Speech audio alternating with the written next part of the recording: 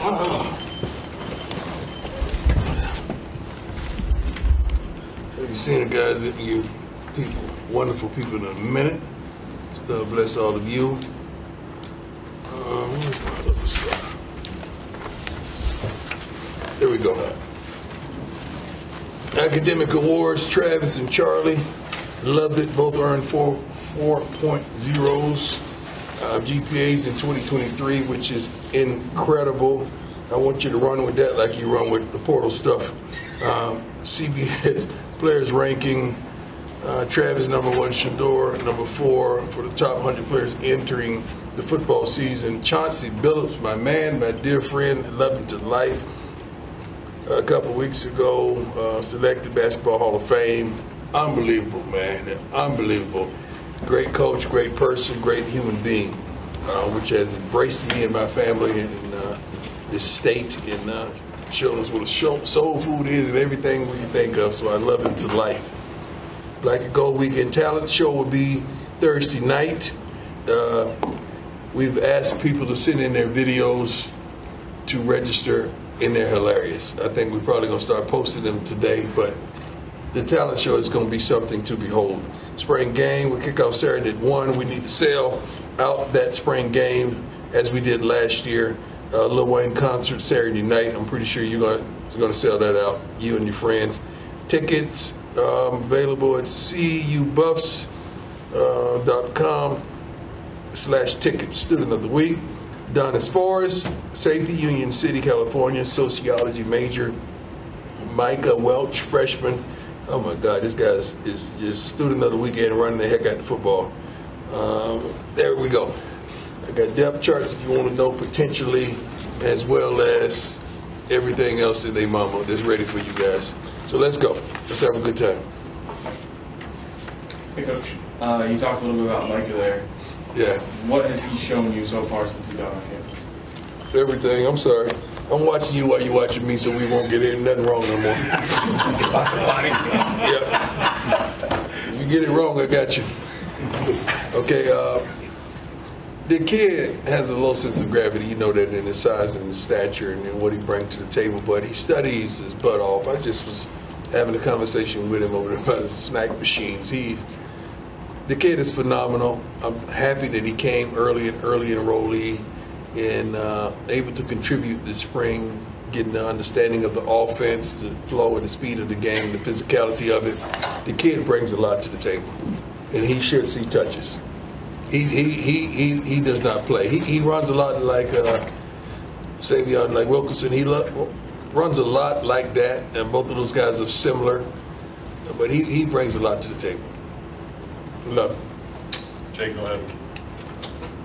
Uh, Coach, so just we talked to Kevin Mathis a few weeks ago, and he was mentioning how versatile defensive backs have been. Yeah. Uh, guys playing the slot, guys playing safety. Yeah. Uh, just wondering if you could share a little bit more into that philosophy and what it's going to look like in the season. Um, we don't know what it's going to look like because we still have, I think, four to five more young men that's coming in that we know that are coming in, especially at the cornerback position. But when you're talking about, you know, bringing Hodge in and McKinney in, these guys are, are unbelievable. And you could put Travis at the nickel, or you could,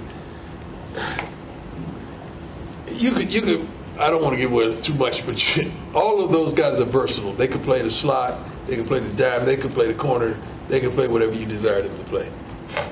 And with the stability of the Shilo and Cam, uh, it's unbelievable. Herm has played with us before, coming from uh, Jackson and Marion. He's going to contribute tremendously, we feel. And, uh, and these other guys are fighting their butts off to get reps and to do what we need them to do. Go ahead, Nikki. Hey, Coach. How you doing? Good, how are you? Nick Edwards, Hughes Sports Report. As uh, you're losing some guys to the portal, what are you Yeah. looking forward to reestablish? What position groups are you hunting? Um, I, I wish you guys do a little more homework when you start talking about the portal and understand uh, what we're losing. What are we losing? I got time today. Backups. What are we losing? Potential starters and Potential. Depth. Where? tight end, running back. You haven't been watching practice, though. Well, we're not allowed in. Amen. we good. We're good.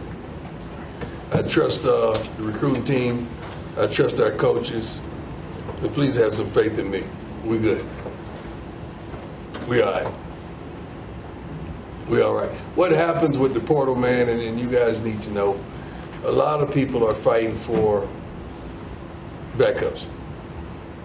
When a guy's a starter and he transfers, you got to really think about that. I mean, is he really that? I don't know how many starters have really transferred around the country. Um, I think we got some coming in from visits pretty soon, maybe even this weekend. But we can attract those type of players, but I don't think we're losing those type of players. And and if we do, we're good. We're good. We're making a big deal out of that. Hi, Coach. Adam Wilson. God, I want to say so much stuff, but I can't. God, I want to say so much stuff. I, I keep remembering my head coach. Let's go. Adam Wilson, Tiger 24/7 Sports. Kind of, kind of building off that. What, what do you view as your needs in the transfer portal as you Uh, kind of fortify this roster? always depth. Um, I think every coach wants depth. You want depth at the offensive line. We're going to bring in several more of those guys, uh, defensive interior guys as well. Uh, you know, we got pass rushers coming. Uh, a couple already signed. I think we got four defensive backs as well. That's coming. too, already signed. Uh, linebacker, a couple linebackers gonna gonna come in. Uh, what else? I think we already signed. We already got a commitment from tight end, I believe. So I think we're good. I think we're good. I know where we are. You'll find out where we are real soon. What? Coach Scott, you? Scott Proctor at the Colorado. Um, more of a mental health question. I saw you share a moment the other day with Amir Robinson. Yeah. Just kind of asking him how, how he was doing. Yeah. How do you, as a program, kind of make sure guys stay even keel with a lot of attention, a lot of pressure, schoolwork and all? You know, what, what do you kind of tell them in that regard? We, we, we have tremendous relationships. Uh, we, we know our kids, they know us. We have so many different departments and resources to assist these young men in any form or fashion. And he's a young man that's dear to my heart. I know his father personally, and I can see the spirit on him that he's he, he's carrying weight. He's, he's heavy. So I just wanted to let him know we love him, we appreciate him. Anything that he needs, we're there for him. Even if he needs a break, but he's not that kind of guy. He's a workaholic, wants to work hard, wants to work his butt off, want to get in, want to earn a position on a special teams or defense or whatever. And I just appreciate him and his focus through all the turmoil and the trials that he's facing because we know what they are. It's visible. Everyone knows. But he's rocking steady, man, and I got a lot of respect for him. He's a good young man, too. God, he, his father raised a good young man. Yes, sir. Hey, Coach, Pat Graham, Associated Press. Um, as far as recruiting, transfer portal, you have a couple things up your sleeve and, and outs you do kind of recruiting through Instagram. Hold on, hold on, hold on, hold on. Let's, let's stop right there. I think most prominent players at every program are probably, your best recruiters. We have a recruiting department that's superb and they're elite, I really feel. But I wish you could have a conversation with Shedeur and just tell him to just show you his DM one time. You would not believe the kids that call him or call Shilo because they're high profile young men that calls Travis, that calls Jimmy, that calls some of the guys that has been here that it's the standard um, to fill us out to see where we are. Because a lot of young men we can't talk to it's not legal. So what do they do? They communicate through one another. You guys got to learn that stuff. That's that's how the communication starts. And that's how it works. So when Shilo was making a joke which he was about hit me up my brother offensive defense or whatever it it's a joke but it's actually real. That's how stuff happens um, players recruit players man we do a wonderful job as, as the staff but they got to be validated by players because they played with those players that you're talking about, either in high school at an all-star game. Uh, they know somebody that knows somebody. That's how the recruiting thing works, man. For real, it's players. They know who the dogs are and who the cats are. Sometimes we, we get caught up in the, the personal aspect of it. We may know the uncle or know the father or trying to, you know, be a, a refuge for the mother. But no, players know players and how they get down. You bummed that Cormani left? Excuse me? You bummed that Cormani left? Uh, I want, you know, I want the best for him, man. I really do. I want that kid to soar. I want him to man up. I, I, I want him to be the best possible athlete and human being and person that he could possibly be. I want him to to fulfill all those dreams that that his mother and, and, and he desires. I, I really, really do, man. I think he's a, a young man that's going to find his way real soon. And sometimes you need uh, to disconnect from something to reconnect to something else, to restart you and re energize you and, and, and, and stabilize you. But uh, I don't dislike any of the kids that may leave, man, because I, I, I just want the best of them. I want, I really do. I, I'm just crazy like that. I really want the best for all these kids, no matter what transpires in their life. Go Tyler. Hey, Coach Sean King with Denver Gazette. We've heard some uh, people say this spring that uh, Omarion Miller has kind of flashed uh, in, as he's getting ready for his sophomore season. What have you seen from him, and how big a role do you feel like he can play for this offense uh, going forward? Well, I don't know what role he's going to play, but the kid can flat out play the game. He's really good. Um, Coach Phillips was on his butt every day in getting him to be consistent, not only in his play, but understanding the game and taking that step up that he desires to be that guy. He has uh, like three alpha guys out there with him, and he has to be one of those. You can't fall back with those guys in that meeting room. Those guys are dogs, and there's four other dogs that's on their way right now as we speak. So that kid can play the game. I can't wait to see him put it all together, and he's putting it all together right now, right before our eyes. Hey, Coach Taylor Zadesky with Busby.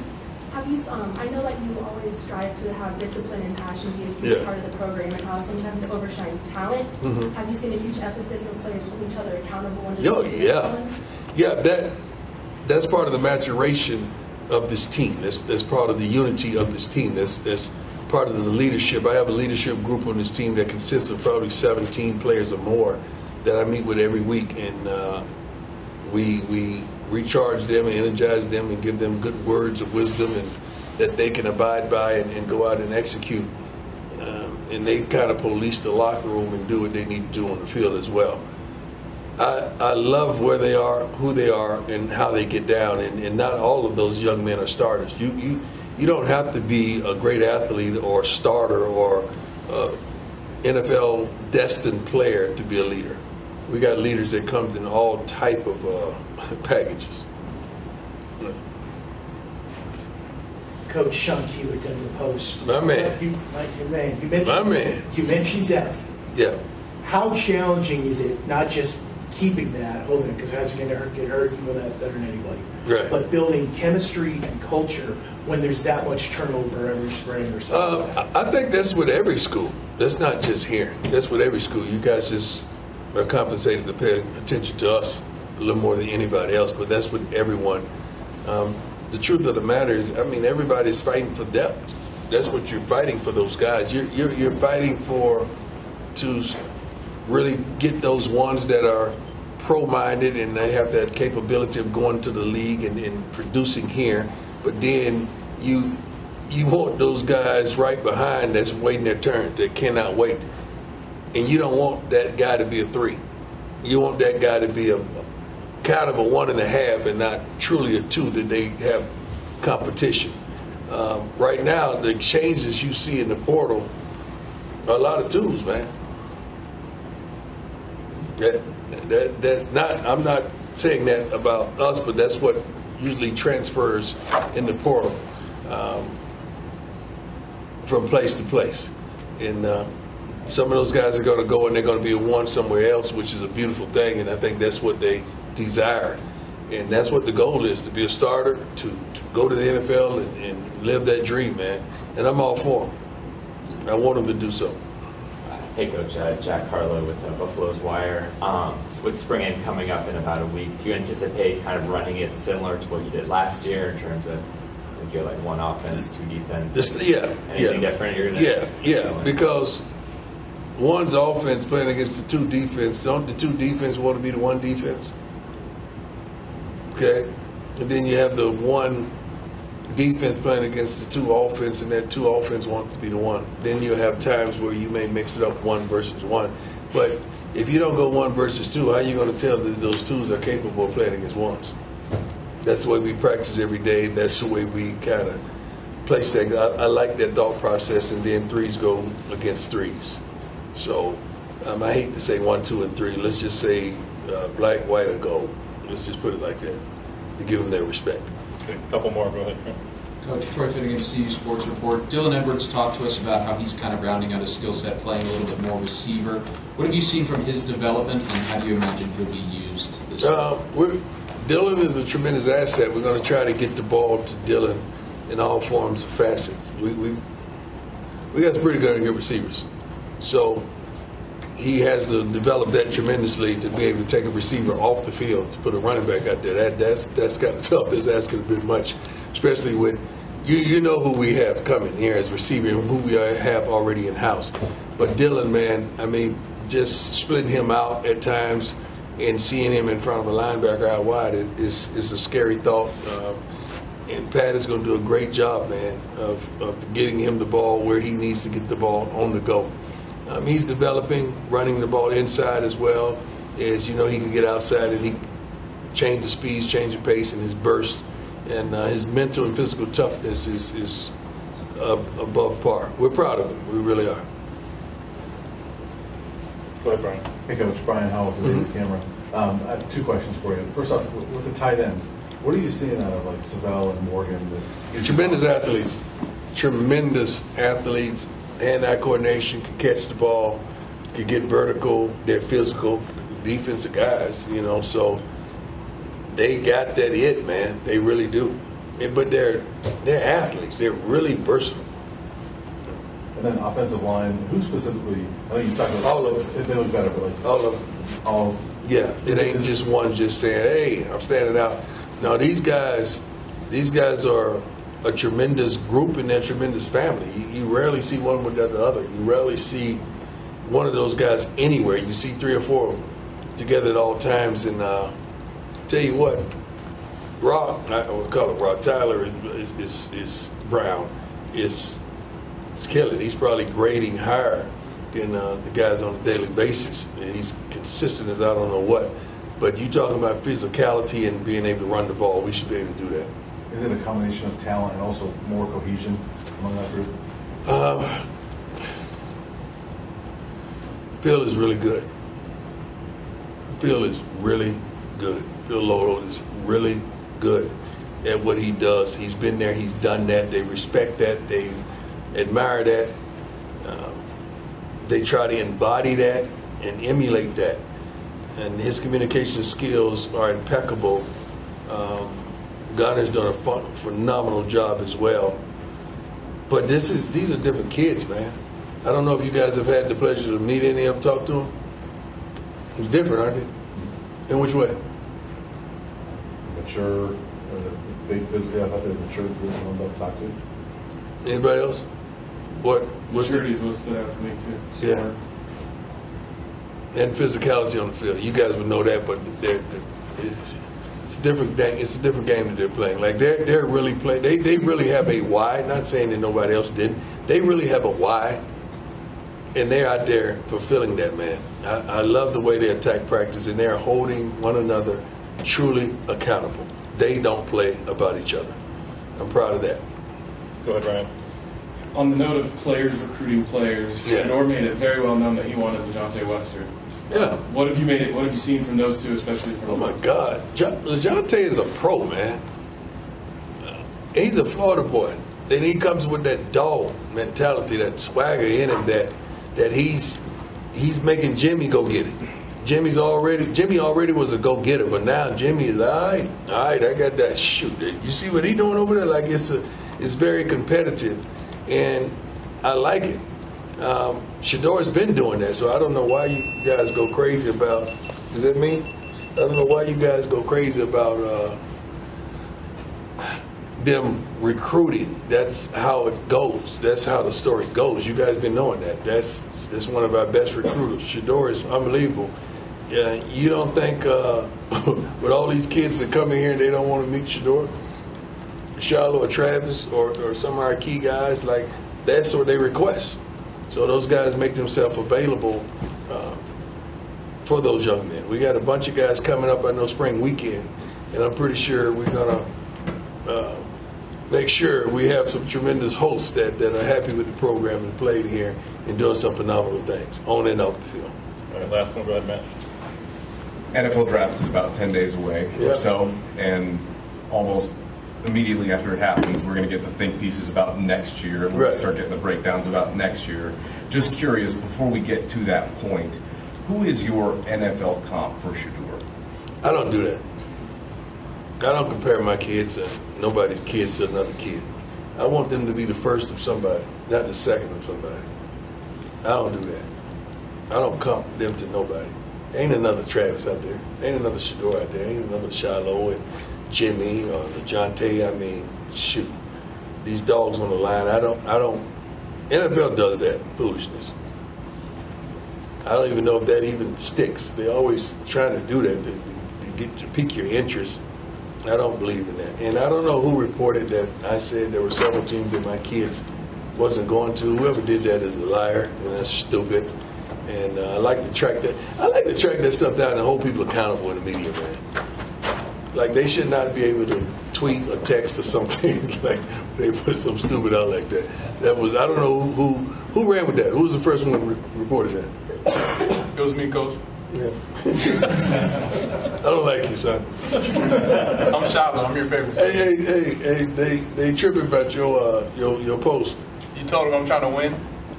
But isn't that how isn't that how it always goes? Remember we, we was in South Carolina. You had people uh, calling you about wanting to come to Jackson with you, right? Yeah, it's about players. Like what you said in your interview yesterday was spot on. What did I say? I don't remember. Like you're not just the first person you're gonna reach out to isn't really just gonna be a coach. It's gonna be a player. Right. One of one of your friends you know. They're gonna check the temperature. They're gonna see how the program is because another player is gonna tell them that. They don't know that's how the NFL is too, by the way. Yeah, he's right. Exactly. One more, so I get out of here. The show's gonna come and have a great time. I'm pretty sure.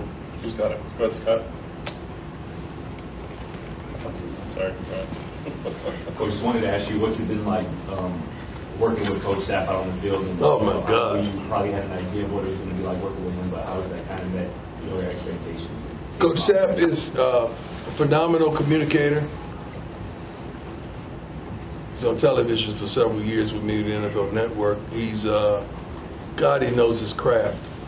He knows his craft uh, superbly. That's why he has a gold jacket. It's not about just his athletic ability. He knows this game, and he's able to communicate that in his passionate way. And I love um, how he does it. I love what he brings to the table who he is, how he is.